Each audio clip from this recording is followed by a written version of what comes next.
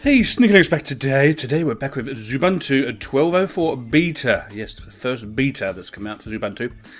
Now, as far as I can see so far, this has been installed by the way. As far as I can see so far, there's nothing going wrong. Everything's hunky dory and working lovely on this beautiful dual core machine as I'm using here. Although I did have a few problems before installation and after installation, but I'll come back to that in a second, okay? Right, okay. Well, quickly to our menu up here. Some of the, icons have changed, as you can see, and they look very, very nice. Don't get me wrong, it's okay. Nothing's changed from the last alpha, really. Nothing really to, for you to look at, really. It's going to be all the same. What I will say, it booted a lot faster, and things are working faster. So something has gone right for a change, hasn't it? So anyway, multimedia, get the usual you would do in Xubuntu.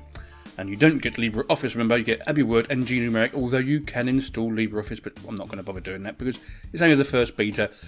It's just under two months' time before the, the real release comes out, the proper release of Ubuntu 12.04 long-term release. So, you know, I'll just wait until then from now on. But as you can see, it's all here. Synaptic is here, the software centre's here, and everything else is here. If we go down here, some of the icons have changed slightly, but it all just works and gets a bit snappier. Right. I'll tell you what we'll do. We'll go to the web first just to check it out, okay? Wait a minute for my web to open up, and here we go. So if we put in Ubuntu 12.04 and we'll see what comes up. Alpha review, don't want to blah blah blah blah blah blah blah blah blah blah blah blah blah blah blah blah. Ah, there it is. We'll go to the Ubuntu site. Right, okay. It's the beta one. This is one we're using. Released was it yesterday? Somehow, anyway. Yeah, day before yesterday. Whatever time in the in the world it was, but it's been released. As you can see, there's not much change whatsoever, but it just works, okay? Works.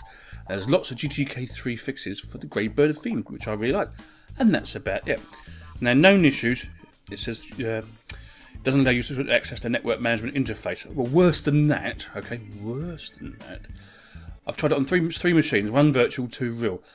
One of the real machines, I couldn't get it to go to, on the network whatsoever, so that was a bit bad, really until after I installed it. A false install. I ended up getting the um, alternate installation of CD, and that worked okay. And once it's installed and you update it, try and update everything, it seems to work. On the other machine, it worked straight away.